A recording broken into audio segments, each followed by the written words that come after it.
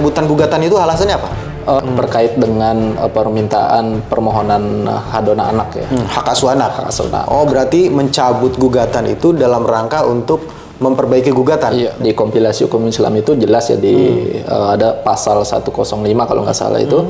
Nah, itu dibilang kalau misalkan anak yang masih mumayis, masih di bawah 12 tahun, itu uh, hak asuhnya kepada ibunya. Rusli itu kan ada surat pernyataan gitu Iya. ya. Mbak Inara Rusli Iya. mendapatkan nafkah 40 juta setiap bulan dan hak asuh anak diserahkan kepada Mbak Inara Rusli gitu ya. Tuntutan Mas Virgon terkait dengan hak asuh anak ini seperti apa? Ya bisa jadi uh, anak itu tetap diserahkan kepada ibunya. Iya. Kemungkinan besar ditolak gitu ya. Iya. Iya.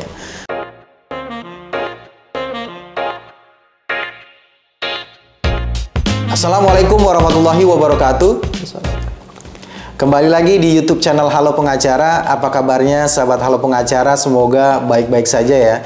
Dan pada kesempatan kali ini kembali Halo Pengacara akan memberikan informasi dan ulasan hukum terkait dengan isu-isu yang sedang viral di masyarakat yang menjadi perbincangan hangat baik di media sosial maupun di media massa. Bersama Bang Hari Kurniawan, pada kesempatan kali ini kita akan memberikan ulasan hukum terkait dengan adanya pencabutan gugatan atau permohonan cerai talak Mas Virgon ya terhadap istrinya Mbak Inara Rusli. Tapi sebelum kita lanjut uh, mengulas uh, isu hukum ini jangan lupa subscribe YouTube channel Halo Pengacara dan nyalakan loncengnya supaya terus mendapatkan uh, notifikasi video-video terbaru dari Halo Pengacara. Bang Hari, Siap, Bang. sehat Bang? Sehat, Alhamdulillah Alhamdulillah. ya Bang ya.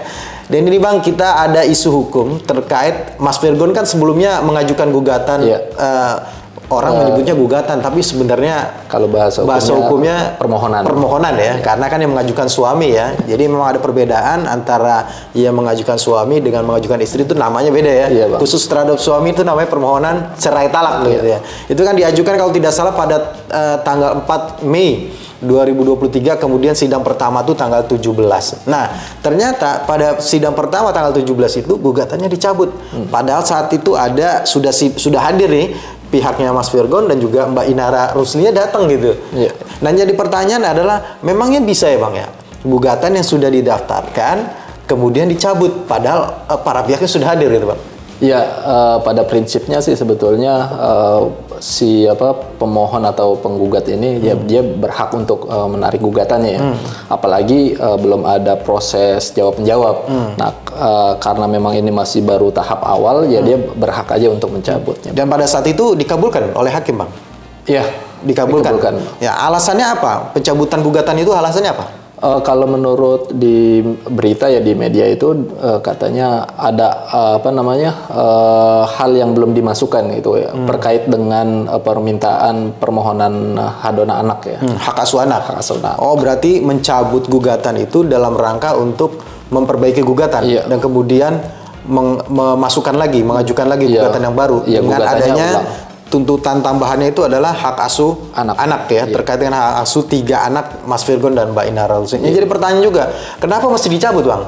Kan dalam hukum kita mengenal hukum acara ya khususnya kita mengenal boleh loh gugatan atau permohonan yang sudah diajukan itu bisa kita perbaiki gitu, Bang. Iya.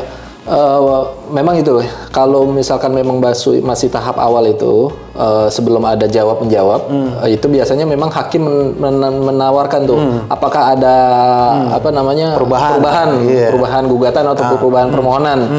Ah, itu dibolehkan kalau masih sebatas yang formalnya. Gitu. Aspek formal itu apa, betul nah aspek formal itu kayak eh, salah ketik nama typo begitu ya, itu Oh, terkait dengan yang mungkin perbaikan yang sifatnya tidak substansial gitu ya Pak? Nah kalau terkait dengan tadi yang saya tanyakan tuh uh, terkait dengan mau masukkan misalkan kan ada posita ada petitum. Betul. Posita dalilnya, petitum tuntutannya tuntutannya gitu ya. Nah kalau ada perubahan terkait dengan penambahan tuntutan, uh, tuntutannya menjadi misalkan tadi hanya cerai saja kemudian ada hak asuh anak Iya.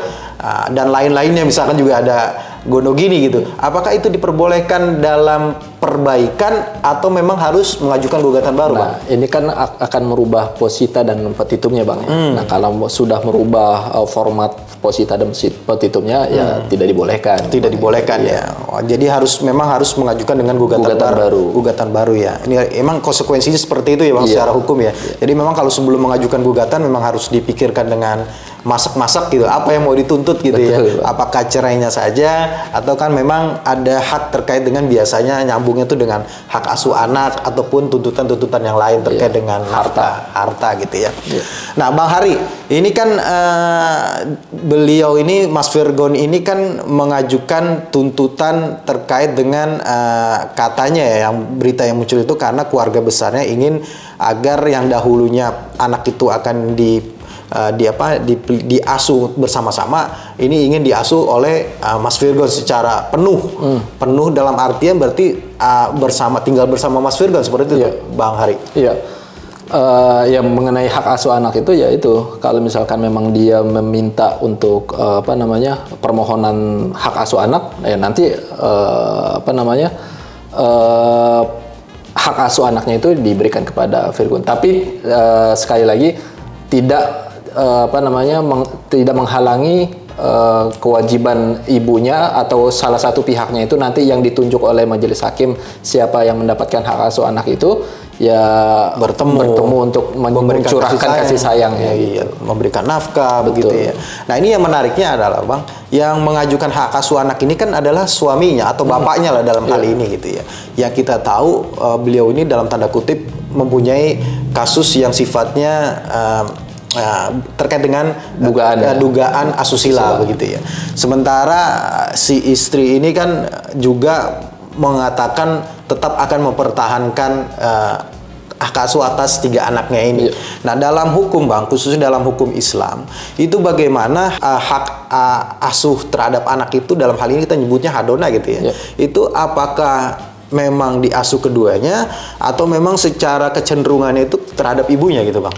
Kalau di eh, kalau di Islam itu kan Hmm. kalau di Indonesia itu ada namanya kompilasi hukum Islam. Bang. Oke, Bang. Di kompilasi hukum Islam itu jelas ya di eh, ada pasal 105 kalau nggak salah itu Eh, itu dibilang kalau misalkan anak yang masih mumayis masih di bawah 12 tahun itu eh, hak asuhnya kepada ibunya. Oh, anak yang masih mumayyiz 12 tahun ya? 12 tahun. Bukan 18 ya, Pak? Bukan. Kalau 18 itu kan eh, bawah umur ya. Usia Sebelum bawah. 18 itu kan Betul. belum di bawah umur ya. Karena kan ada pernyataan oh kalau belum eh, belum 18 atau belum cukup umur masih di bawah ibunya, bukan ya? Bukan. Berarti yang belum mumayyiz, Belum- belum genap 12 tahun, maka hak asuh itu otomatis secara hukum adalah menjadi haknya si ibu kandung ya. Dalam hal mungkin bisa terbukti sebalik sebaliknya mungkin ya. Kalau Iya. memang bisa dibuktikan misalkan eh, si ibu mungkin tidak, Tidak layak, cakap, iya. tidak cakap, tidak layak atau punya kasus kesusilaan juga Betul. misalnya itu, itu juga bisa diserah. Tapi kalau tidak ada berarti secara hukum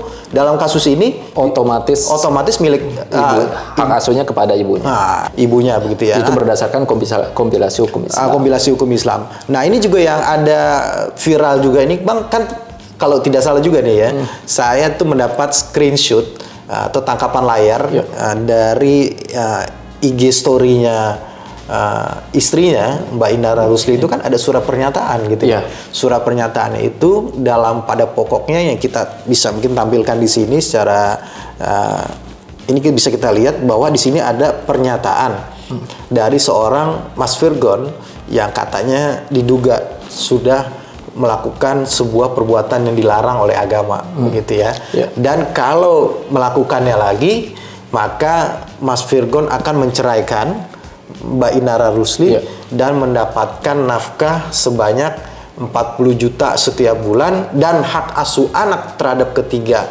anaknya diserahkan kepada Mbak Inara Rusli gitu ya. Di luar dari tadi yang ketentuan yang pasal 105 kompilasi hukum Islam, apakah dengan bukti ini ini cukup memberikan kekuatan hukum atau bukti yang kuat bagi Mbak Inara Rusli untuk memperoleh hak asuh terhadap tiga anaknya, Bang?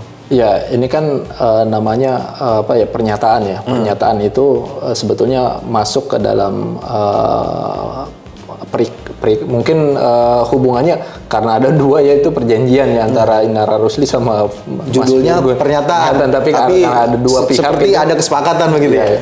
Nah ini kan kesepakatan itu kan eh, kalau di dalam undang-undang itu di dalam hukum Ah. ada istilah itu kesepakatan antara pihak itu eh, apa namanya dia sebagai undang-undang Berlaku berlaku bagus sebagai undang-undang. bagi para pihak. Artinya itu bisa jadi bukti yang kuat buat Mbak Inara Rusli untuk bisa mempertahankan hak asuh anaknya pada dia begitu ya. Apalagi tadi kita bilang bahwa ini Mas Virgon kan punya uh, dugaan perkara yang istilahnya ini sangat biasanya dalam pengalaman kita hakim itu akan menilai gitu Iya. sejauh mana ketika seorang anak itu tinggal dengan uh, orang tuanya yang yang diberikan hak asuh itu akan uh, lebih baik atau justru akan berpengaruh secara apa namanya bang akhlaknya lah gitu tumbuh kembangnya begitu ya. Betul. Kalau pengalaman abang yang seperti ini biasanya tuntutan Mas Virgon terkait dengan hak asuh anak ini seperti apa? Bang? Iya biasa eh, apa nama dari beberapa ketentuan ya ketentuan yang ada kemudian ditambah lagi kuat apa namanya ada pernyataan itu ya bisa jadi eh, anak itu tetap diserahkan kepada ibunya. Iya, artinya bisa jadi tuntutan hak asuh anak yang akan diajukan oleh Mas Virgon kemungkinan besar begitu ya.